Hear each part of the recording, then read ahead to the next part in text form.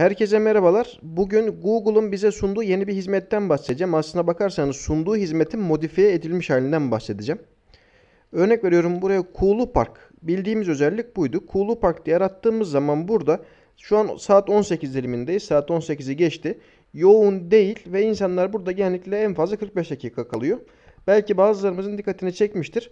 Google zaten bizle bu bilgiyi paylaşıyordu. Mekanların, bölgelerin saat bazındaki yoğunluğunu paylaşıyordu. Şimdi bildiğiniz gibi dünya bir virüsle uğraşıyor. Ee, ve bu virüs kapsamında devletler insanların evde kalmasını istiyorlar. Çeşitli önlemler alıyorlar. Stay home, e, evde kal hashtagleriyle e, bu olaya insanlar teşvik ediliyor. Şimdi Google bu özelliğini bir raporlama haline getirmiş. Ee, enteresan bir özellik. Bu sayede bu alınan önlemler sayesinde e, sokakların, sokakların, mekanların ne kadar boşaldığını göreceğiz. Güzel bir özellik, enteresan bir özellik. Şimdi oraya nasıl gidiyoruz?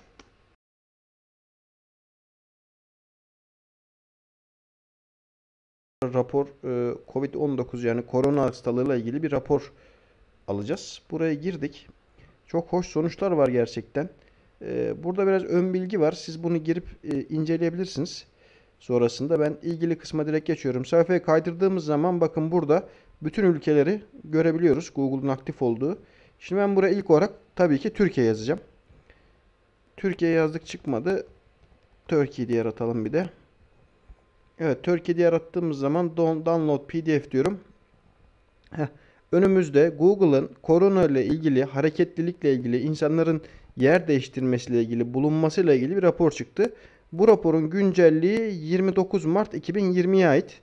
Ee, şimdi biz çok da ileri bir tarihteyiz. Bu tarihte eminim ki bu rapor çok daha güncellenmiş olacaktır. Yeni raporda güncel bir şekilde elimize ulaşacaktır. Şimdi 6 Nisan'da ben bu 6 Nisan akşamı ben bu videoyu çekiyorum. Ee, şimdi aşağı indiğimiz zaman ee, bakın burada grafiğin kırıldığı bir yer görüyoruz. En son 8 Mart pazar gününden sonra 29 Mart pazara kadar grafik aşağı doğru kırılarak eğrilmiş %75 bir düşüş var. Şimdi şuraya da baseline diye bir şey çizmişler, ve burada diyor ki her şey bu baseline'a göre yani bu referans çizgisine göre referanslanmıştır diyor. Bu standart gidişat. Yükselmeler var, alçalmalar var. Burada çok ciddi bir kırılma var. Bu nerenin verisi? Kafeler, alışveriş merkezleri, parklar, müzeler, kütüphaneler ve sinema salonları. Buraya insanlar Türkiye'de %75 oranında 8 Mart'tan itibaren 29 Mart'a kadar ciddi derecede düş gitmeye bırakmışlar. %39 bir düşme görüyoruz. Ben özellikle buradaki düşmenin güncel raporda çok daha büyük olacağını varsayıyorum. Ee, burada baktığımız zaman e, gıda alışveriş yerleri, tahıl benzeri e, tarımsal ürünlerin satıldığı yerler, hani pazar gibi yerlerde değerlendirilebilir. Ee, özellikle şu sözcük grubuyla. Ee, özel yiyeceklerin satıldığı yerler, e, drugstores dediği şey, eczaneler ve işte hani medikal ürünlerin erişilebildiği yerler. Buralara ziyaret standarda göre %39 oranında olanında düşmüş.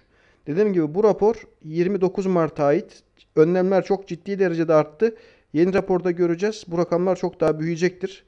Parklara baktığımız zaman yine 8 Mart'tan sonra parkları da e, hani köpek gezdirme alanları, marinalar, sahiller, plazalar, public yani halka açık e, bahçeler, milli parklara düşüş %58 oranında bir düşüş var. E, halkımız buraya da gitmeyi bırakmış. İndiğimiz zaman burada toplu taşıma araçlarını görüyoruz. Daha 8 Mart'tan itibaren toplu taşıma araçlarında, metrolarda, e, tren istasyonlarında, otobüslerde %71'lik bir düşüş var. Bunlar Google verisi, herhangi bir şekilde resmi veri değil. Yine buraya baktığımız zaman bu sefer de iş alanları. Örnek veriyorum bir iş merkezinde 9 Mart'a kadar baktığımız zaman %45'lik e, bir düşüş var. Şimdi şuraya geliyoruz. Bakın burada e, standarda göre %17'lik bir artış var. Bu %17 şu rakamlara bak burada neyin %17'si onu da söyleyeyim. Residence dediği yani e, hani evlerimiz, barındığımız yerler. E, burada %17'lik bir artış bana biraz az geldi. Bu düşüşlere kıyasla baktığımız zaman yani bir kere iş %45 düştüyse bu insanlar sokakta da olmadığına göre bu insanlar evde olmak zorundalar.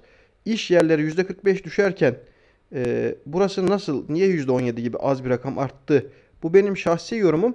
E, Google'ın bu veri toplama sistemi evlere pek yönelik değil. Çünkü bugüne kadar böyle bir veriye ihtiyaç yoktu. Kim evde kim evde değil'e ihtiyaç yoktu. Özellikle bu tarz yerlerin verisi takip ediliyordu. Yani ben gidip Google'ın adres barına e, kendi evimi yazmıyordum hiçbir zaman. Demin yazdığım gibi Kulu Park'ı yazıyordum. Ne bileyim eczaneye yazıyordum, sinema salonuna yazıyordum, AVM'ye yazıyordum ve doluluk oranını ve e, yoğunluğunu görüyordum. Ama evler için böyle bir veri yok. E, sanıyorum ki bu yani bu benim yorumum sadece. İlerleyen raporlar, raporlarda bu verinin çekilmesi için belki başka bir yöntem geliştirebilirler. Şimdi bu verilerin herhangi bir resmiyet taşımadığını şu ön yazıda zaten Google bizle paylaşıyor. Buraya okuyabilirsiniz. Bu Google'ın hani e, iyilik yapma adına, hükümetlere yardımcı olmak adına e, aldıkları önlemlerin ne kadar başarılı olduğunu göstermek adına sadece bir done.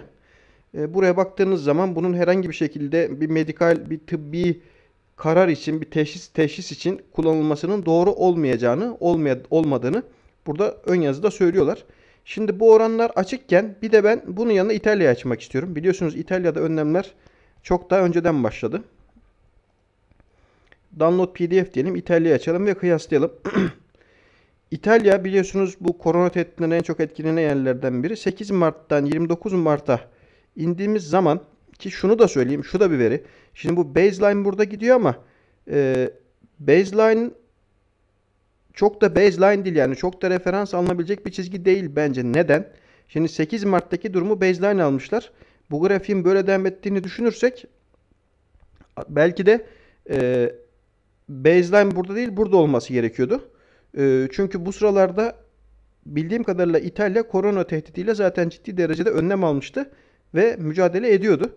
Ee, aslında bu baseline biraz daha yukarıda varsayılabilir. Umarım demek istediğimi anlatabilmişimdir. Türkiye için daha gerçekçi. Çünkü biz biraz daha bu tehditle yüz yüze yüzleştik. İtalya bizden daha önce yüzleşmişti. Neyse kıyaslarsak e, restoranlar, kafeler gibi yerlerde bizde %75 iken İtalya'da %94. E, alışveriş merkezleri, eczaneler gibi yerler bizde %39 iken İtalya'da %85 seviyesine gelmiş. Bize bakıyorum marinalar, parklar, bahçeler %58 seviyesindeyken İtalya'da %90 seviyesinde. Biraz daha aşağı iniyoruz. İtalya'da tren istasyonları toplu taşım %87. Bizde e, toplu taşım %71 seviyesinde. İtalya biraz daha önlem almış gözüküyor. Dediğim gibi bizden önce başladılar. Alt tarafa indik. İş yerleri ne bakıyoruz? İtalya'da %63 seviyesine gerilemiş. Bizde %45 seviyesine gerilemiş. Ee, yine İtalya'da aynı çelişki benim gördüğüm eğer yanlış anlamıyorsam aynı çelişki burada da var. Grafikler bu kadar aşağı düşmüşken e, nasıl oluyor da ev sayısı bu kadar az yükselmiş gözüküyor. Dediğim gibi buradaki artış ev verisinin Google'un elinde yeteri kadar olmadığını düşünüyorum. Ben en azından sebebinin bu olduğunu düşünüyorum. Ee, böyle bir kıyaslama yaptım. İlerleyen günlerde buradaki raporları incelemeye devam edeceğiz. Ee, bir daha bu konuyla ilgili ben bir video yapacağımı sanmıyorum ama siz artık bireysel olarak nasıl yapılabildiğini gördünüz.